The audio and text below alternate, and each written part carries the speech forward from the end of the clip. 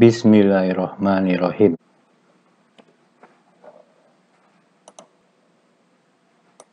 Pertama tentukan snap sebesar 5, lalu masukkan perintah circle.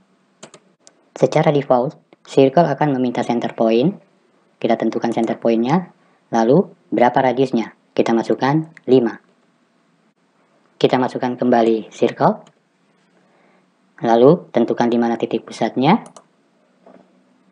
kemudian kita rubah menjadi diameter. Sehingga pertanyaannya menjadi berapa diameternya. Kita masukkan kembali 5. Masukkan kembali perintah circle. Ganti dengan 2P atau 2 poin. Kita pilih 2 poin tempat circle itu akan dibuat. Circle kembali 3 poin. Tentukan 3 poin di mana circle tersebut akan dibuat. Berikutnya adalah circle dengan tangan-tangan radius. Kita ketik T, enter, pilih tangan pertama, kita klik ini, tangan kedua, masukkan radiusnya, misalnya 30.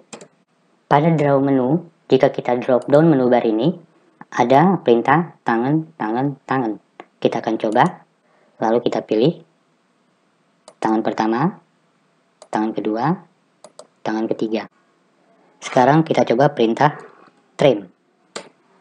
Tentukan batas potongnya. Misalnya dua garis ini lingkaran ini dan garis-garis ini.